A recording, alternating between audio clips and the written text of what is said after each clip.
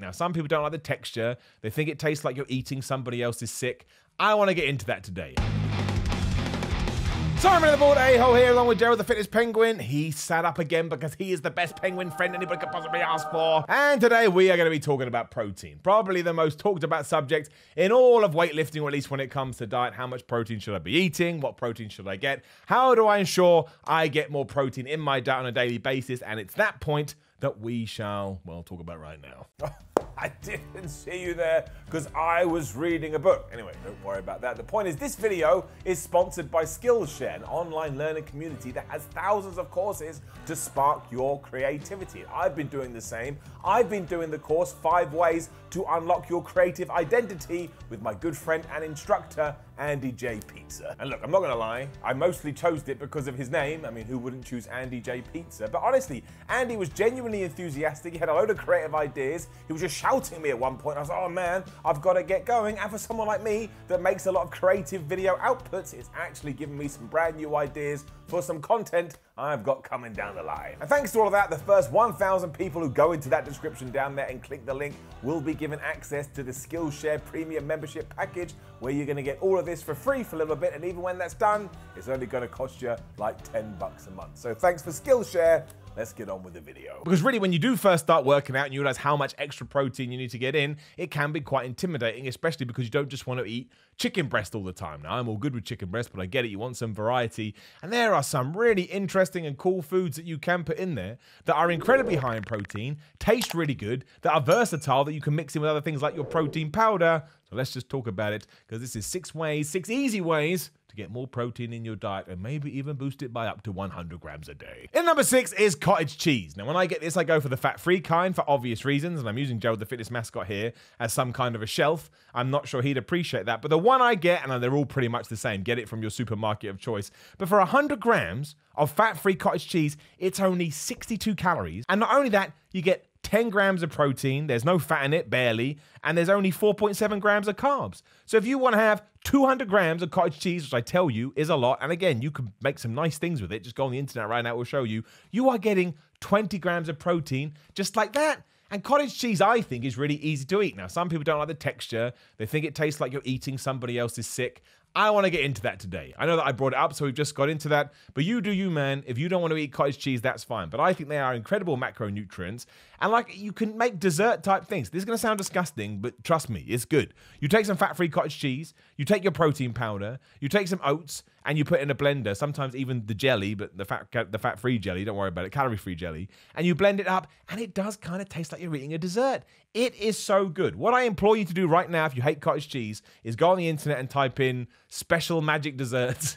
with cottage cheese in. Type in protein desserts that feature cottage cheese. It is great, and I don't see anybody eating it because I think most people go, "Oh no, it's cheese." It's not a kind of cheese. It's gone through some kind of a process. I don't know what it is, but it is filled with protein and it rocks. In number five, kind of in the same vein as cottage cheese, is zero percent Greek yogurt right? 0%, sorry, 0% fat Greek yogurt. Now, so many people still eat yogurts thinking they're healthy for you, and they are healthy for you in some respects, but I bet if you actually look at the back of the label, they are going to be packed full of sugars. That's why they taste so good, and they're also going to be packed free of fat, and they don't have any protein in it because they're not. If you move on to a 0% fat-free Greek yogurt, you're going to get, again, 100 grams is only 54 calories. 54 calories. You're going to have 200 grams, and you're only just over 100 calories. There's no fat, because you've got the 0% fat one. Carbohydrates only 3 grams per 100 grams, but there's also 10.3 grams of protein. So it's very, very similar and very, very samey to the cottage cheese we've just talked about. And some people go, Well, I don't like the taste of 0% Greek yogurt. Put your protein in it. It is this crazy substance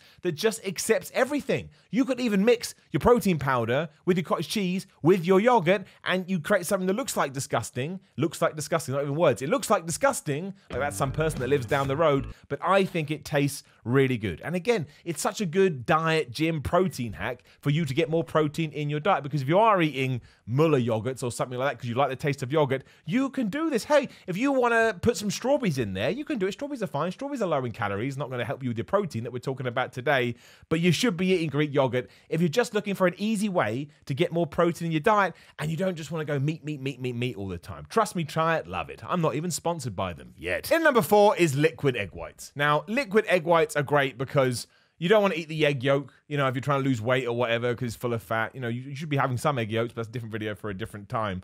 But you, we all know that eggs are a great source of protein. Of course we do. That's been said for years. Been going back to, to the Rocky days We used to crack open his eggs and drink it raw. Now, you can actually drink liquid egg white straight from the carton if you want, because that's just the modern world we live in. I don't think that you should, because I don't think it's particularly nice. But they're so easy to cook, they barely take any time. You can just pour them into a saucepan or whatever and cook them up in around about two, three minutes. And it's just so easy. It's so easy. Like, so if the reason you're not getting more protein in your diet is because of time, you can do this. If it's because you're sick of food, you can do this it just again we talk we're talking about versatility. These is some of the most versatile food that you can eat. Well, not versatile, but they're accessible. They're accessible and they're easy. And it actually is easier to sort out your protein from liquid egg whites as opposed to a real egg. Because you can only guess how much protein is in, a, in an egg white because no one actually knows. They all weigh different things. But again, the ones I've got, I've got up right here. It is 10 grams of protein per 100 grams. So if you want 30 grams, you smash out 300 grams of that. You know there's no fat, no fat in it because there's no yolk. It's pure egg whites. And you can get these anywhere. I get mine off the internet because they're a little bit cheaper. But supermarkets and grocery stores, they're all selling them now. They have come so far. Just check them out. Give them a go. They taste just like eggs. It's not like you're eating some kind of you know egg that was made in a laboratory. It's just liquid egg white, but somebody put it into a bowl. In number three is canned tuna. Now I know most of us are probably eating canned tuna, and it is super dry. But do not forget how good it is for you. Per 100 grams, again, this is in spring water too. You can get it in sunflower oil, you can get it in brine. I mean, if you want to keep it as healthy as possible and more protein focused, you want to make sure it's in spring water. But for 100 grams, it is 0.5 grams of fat, zero carbs, and the protein is 27 grams and only 113 calories for those 100 grams. So, you know, if you again, this is all about finding different, sort of almost hacking your way to getting more protein. You can just get a can of tuna. I mean, it's 100 grams, and a can of tuna is I'm not going to be able to find it now. No, my phone is just freaked out. I don't know how much. Uh, I think about 145 grams ish. So say 150 grams on a can of tuna. So straight away there, you've got around about 40 grams of protein, a little bit more. If you really can't handle how dry it is, and some people can't, I've seen some people heave trying to drink tuna.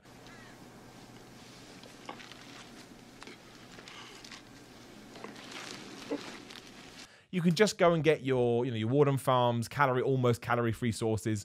So you can put some ketchup in there, you can put some barbecue sauce in there, some mayonnaise. Again, if you're using the right amount of those sauces, they're only going to have about four, five, six, seven calories in it. That's not going to make a huge difference to your diet at all. And also, if it, you like it, you know, trying to find ways that you like food when you're on a diet, that's more important still. So don't skip on canned tuna. Honestly, unless you absolutely hate the taste and don't like fish, then of course don't suffer through it. But if you're really struggling to meet whatever your daily protein ratios may be, it's so easy to do. And you don't have to cook it. It just comes out of a can. It's super cheap. You can get them for great. In my local supermarket, you can get one of these you know these cans. It tastes really well. It tastes fine. Doesn't taste any worse than the more expensive one. For like 65p a can. 65p a can. You can't say fairer than that. Number two is boiled eggs. Now, while I think liquid egg whites are better for everything we talked about having no yolk, this is more for people that like to snack. You can take 10 eggs, right? And you can put them in your saucepan and you can boil them on a Sunday and they will keep in the fridge all week. So when you do feel like you need a bit of a snack, you don't have to reach for a chocolate bar, you don't have to reach for a bag of sweets, you don't have to reach for whatever your, you know, bad food of choice is. You can just go have an egg. right? you can have an egg. And I actually think a boiled egg tastes really nice. I truly, truly do. And because it's just there, right? This is the key. Because like, most people eat a chocolate bar because it's just there and it's easy. And of course, because it tastes good. But there is no preparation time apart from undo the wrapper. And if you can't be bothered to undo the wrapper, then you're not going to eat it anyway. If you know you can just go to your fridge and have a protein based meal right there and then, it's going to make it easier for you. And again, you're going to be able to increase your protein. And yes, they've got a yolk in there, there's about six to seven grams of fat, but you can either just not eat it, you can eat around the yolk should you so wish. But this is more about the accessibility thing because I totally get it. When you just want a snack, or if it's late at night too, you look for all these bad things that are just there and then. Well, a boiled egg, that can fit into that, and then you won't be eating, I don't know, Cheetos. Although I get how good Cheetos are. And number one is the most obvious one, but it's whey protein, right? Never forget that whey protein is a supplement, so you should be eating real foods too. You know, you're supplementing it on top. But the fact that from one scoop, of most whey proteins, you're going to get around about 25 grams to 30 grams of protein. I mean, how easy is that? If you're eating three square meals a day, and let's say you're doing the whole, I'm getting 50 grams of protein for each 100 grams of protein, all you need to do is smash out two protein shakes a day. So one scoop in the morning and one scoop in the afternoon, and you've boosted it up to 200 grams if you're a 200 pound human being and you're going for the whole one gram of whatever that stupid equation is.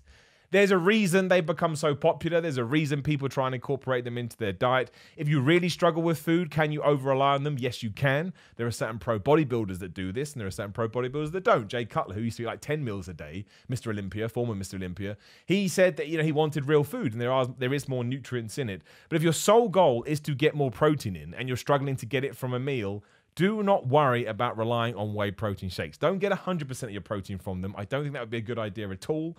Uh, it's also just is better to get them from real food because again, it's real food. They've got nutrients in, but don't skimp on them. There's always one person in the comments go, Whey protein is so overrated. it's not overrated. It's not underrated. It's just the thing. It just exists. You know, as the fitness craze got bigger, companies that wanted to make money realized, well, if we can somehow come up with a powder that just shakes in a shaker with water, that people can drink it more protein, that's probably going to be popular. And it was because people were struggling to get their protein in. So just do it. Have it a couple of times a day. Have it after you work out. Have it when you wake up. Have it whenever the hell you want. Use it. That's the whole point. Use it in order to get to where you want to go. Don't punish yourself and don't suffer. There you go. Six easy ways to get more protein in your diet that hopefully literally are easy and require no work on your end. That's what I wanted to do for you today. Then like the video, share the video, and subscribe. You can leave a comment below. Uh, there's a bell there. Ding, ding. Click that so then you'll be notified when other videos go live. There is another video right there right now. Give it a click should you so wish. Otherwise, Instagram and Twitter is at Simon316, patreon.com forward slash Simon316. Should you want to support the channel financially, Big Cartel, no. Simon.bigcartel.com for merchandise. But otherwise, keep smashing your diet. Get your protein in. Don't do rhythms on your hands. I can't rhyme that. It's just really annoying. See you soon.